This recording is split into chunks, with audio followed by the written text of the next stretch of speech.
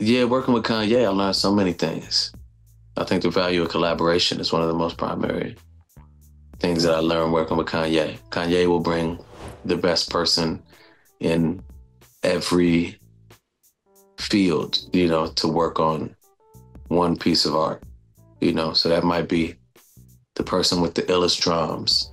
Then you got the person who is the illest with the synthesizers and melodies.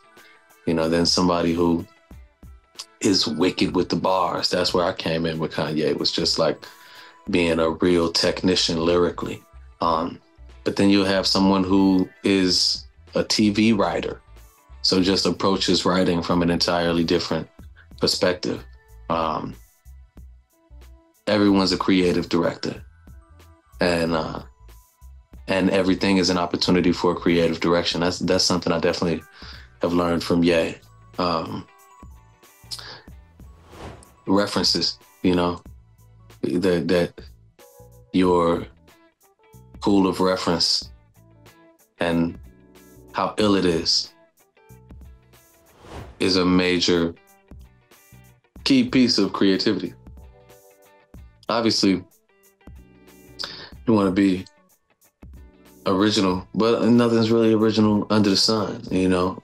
So building upon references and stacking ideas, you know, is like something that I learned from Kanye and Virgil, you know, like just watching, just sitting there in the studio and seeing Kanye and Virgil and Heron Preston and Jerry Lorenzo, just like they had this running email thread where they would just send like countless images, just images, images, images, images. It could be everything from like a, I don't know, like Tchaikovsky symphony to like just a photograph somebody took of a truck yesterday.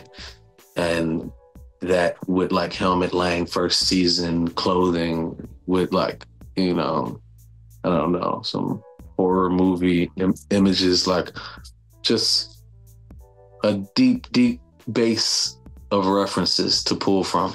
Um, and one thing I learned from Kanye more recently really was like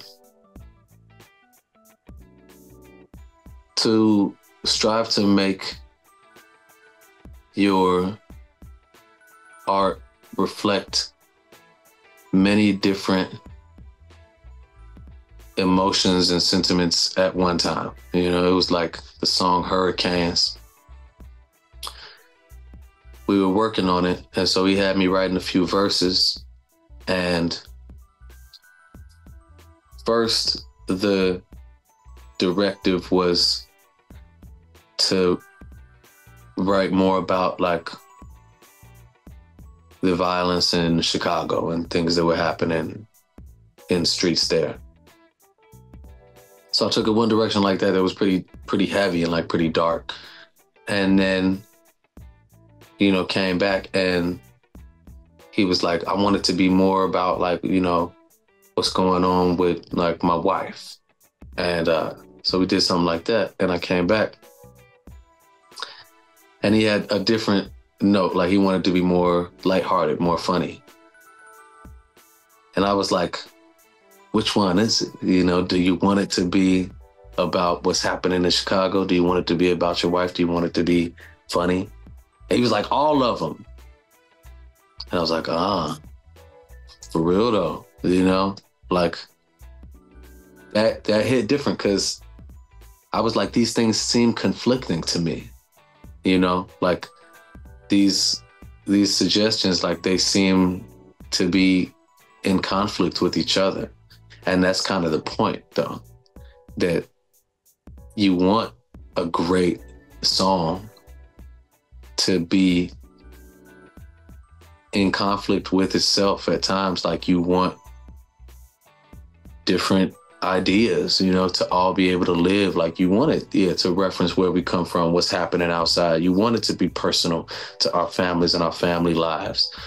You want it to make somebody laugh at the same time. You want it to do all that